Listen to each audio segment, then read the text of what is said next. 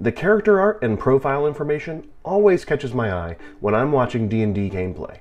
I mean, back in the day, my friends and I would sketch portraits of our characters, well, kind of little thumbnails on our character sheets, way back in the early 90s. Actually, we usually asked our friend Carrie to draw them because he was inevitably going to be the better artist than all of us. But there's something about having a visual representation of a character along with a few highlights about their abilities that helps us better understand the overall story of the game. Let's look into it.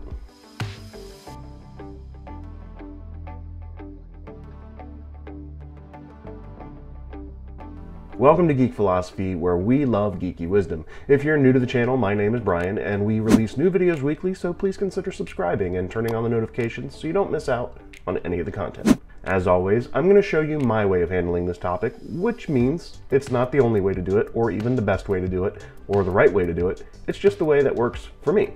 I'm going to be using Canva to complete this project, so stick around to the end of the video to see how you can get a 30-day free trial for Canva's Pro subscription. Quick note, you'll have to forgive my voice this week. It's a little not there, so doing my best.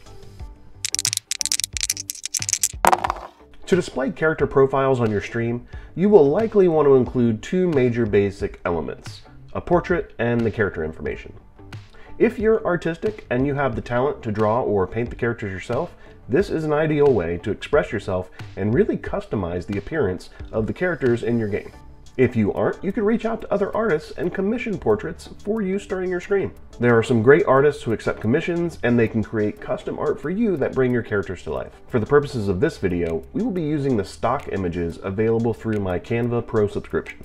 Then we'll design the layout and the graphics to display the profile information in a way that best fits our live stream layout and pull everything together as a video for our live stream.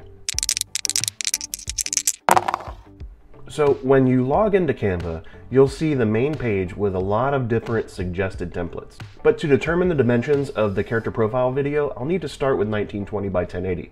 I'll use the create a design button and enter those dimensions.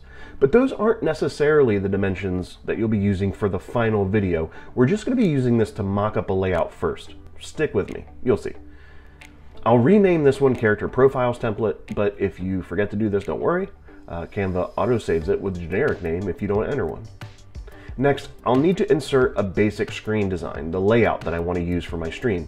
You could import a screen grab from your current live stream, but I built my live stream template in Canva, so I can open it up and just copy one of the layouts in. Check out the how to create a live stream template with Canva tutorial to see how I built all these layouts. With this layout included, I can resize my placeholder box to fit the way I'd like. I'd like to stick with 1920 by 1080 or that ratio whenever possible, because then I can repurpose the video for something else if I need to. To make sure I'm starting with 1920 by 1080, I'm going to press the control or command button and drag and resize it so it fits up the entire screen, which again was built in 1920 by 1080, and this will ensure that when I resize it again, the proportions are correct and this looks good to me, but you could totally use a different aspect ratio if you like. You could go with square or a little bit narrow, doesn't really matter. The process will be the same moving forward. Okay, since we're sticking with the same file dimensions, I can actually just continue to work with this file moving forward. I don't need this first page anymore, so I can delete it and get working directly with a blank page. You'll notice that Canva provides several templates. Most of these will either be presentation templates or video templates since they fit the aspect ratio that we're working with. So you could totally start with one of these as a basis for your design.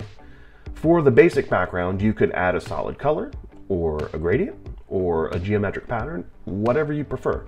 For my Relics of the Ancients campaign, I found that starting with a photo in the background really kind of helped me pull the design together.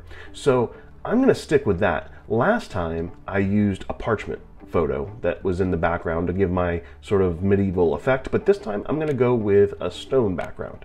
I'll search for a stone photo and then scroll through and find something that looks good for now, but I can replace it later if I change my mind. In the Elements section, Canva has a great selection of frames, and these frames are perfect for importing our character profile images. Let's scroll through and pick a frame layout that fits what we're looking for. All right, good. Now I can resize and position this frame wherever makes the most sense. This is gonna hold our image. So now that I have the background image and this frame selected, I'll search the photos for some images that I can use as the character portraits. Once I find one I like, I'll drag it into the frame and that'll kind of snap it in place, but I can double click and then reposition it however I'd like. Okay, now I'm gonna insert some text. We'll add some placeholders for a character's name, basic stats, class, level, and whatever else you want to include. There are a bunch of different fonts I could use, but I'm going to keep them consistent with what I used in my main layout. Now it's time to really make it your own. I find that the basic shapes and lines are a great way to establish sections, and you may want to create a border as well. It's up to you. I'm going to speed things up while I add a few things.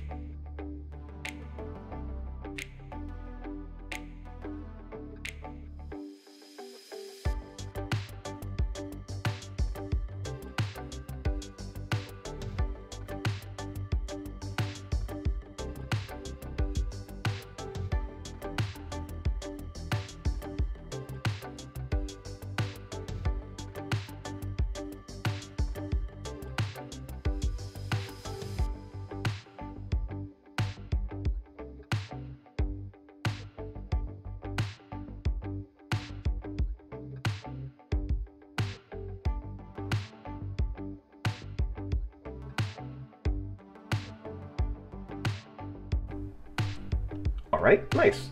Now let's animate. We could animate all of these as individual elements, but I'm gonna select the animation button at the slide level and then go through a few options that I like to see what works. All right, awesome. So I'm gonna pick this animation and then this is it. Now I've got a single profile ready to go. This template placeholder I can just duplicate. That way I can do one for each one of the group members.